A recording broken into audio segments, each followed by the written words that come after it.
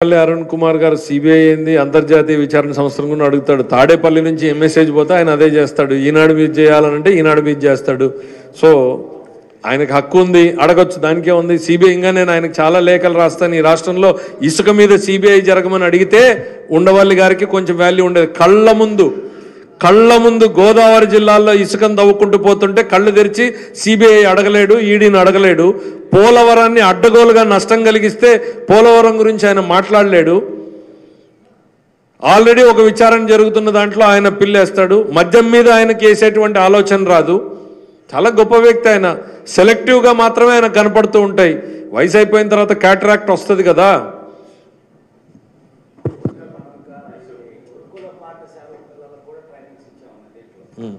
శ్రీకాంత్ గారు చెప్తున్నారు గురుకు నాకు తెలియని విషయం ఇది.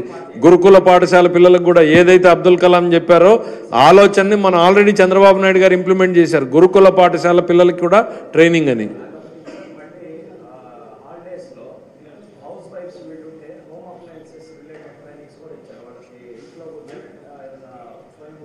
రిపేర్లు రిపేర్ రిపేర్లు చేసుకో. ఎక్సలెంట్ ఓకే ఇంక ఎనీథింగ్ ఎల్స్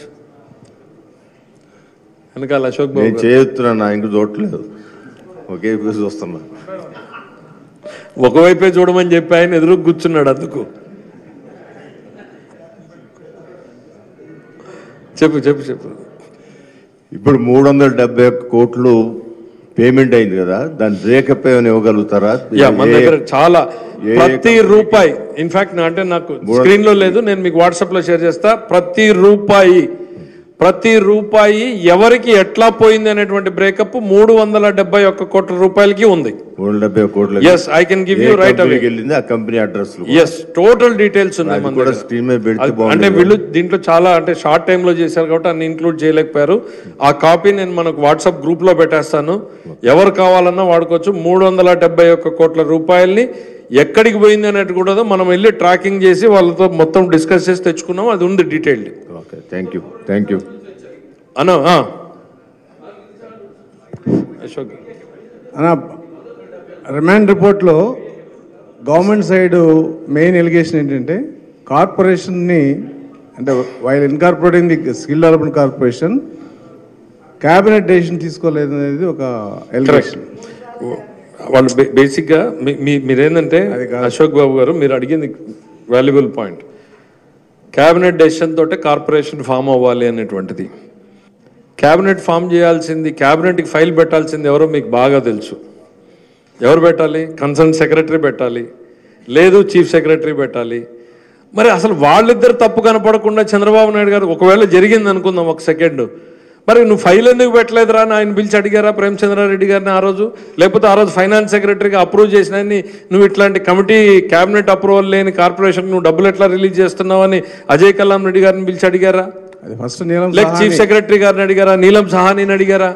ఫైల్ ఏం చంద్రబాబు నాయుడు గారు తెచ్చుకుని ఫైల్ పెట్టుకుంటాడా క్యాబినెట్కి? అది సెక్రటరీలు పెట్టిన ఫైళ్ళ మీద మాత్రమే క్యాబినెట్ నిర్ణయాలు తీసుకునే దురవస్థలో ఉన్నాం. ఇంకా వాస్తవంగా చెప్పాలంటే చాలా సార్లు చాలా పాలసీలు గవర్నమెంట్ అడుగుతుంది మాకు పెట్టండి అంటే పెట్టడానికి వాళ్ళు they take their own sweet time మీకు బాగా తెలుసు కరెక్ట్ పాయింట్కి వచ్చారు మీరు. థ్యాంక్ యూ అది పబ్లిక్లో ఇంకా బాగా పర్కులేట్ కావాలన్న ఎస్ పెట్టాల్సినటువంటి బాధ్యత క్యాబినెట్ ఏ నిర్ణయాలు అజెండా ప్రిపేర్ చేసే బాధ్యత చీఫ్ సెక్రటరీ మీద ఉంటుంది. ఆయన కన్సర్న్ సెక్రటరీకి డైరెక్షన్ ఇచ్చి ఎప్పుడైతే so this requires cabinet approval అని అంటే put for the next for cabinet అనేటువంటిది సింపుల్ ఒక వర్డ్ రాయాల్సిన బాధ్యత సెక్రటరీ మీద ఉంది తప్ప చంద్రబాబు నాయుడు గారి మీద క్యాబినెట్ మీదనో అది లేదు. స్వామి గారు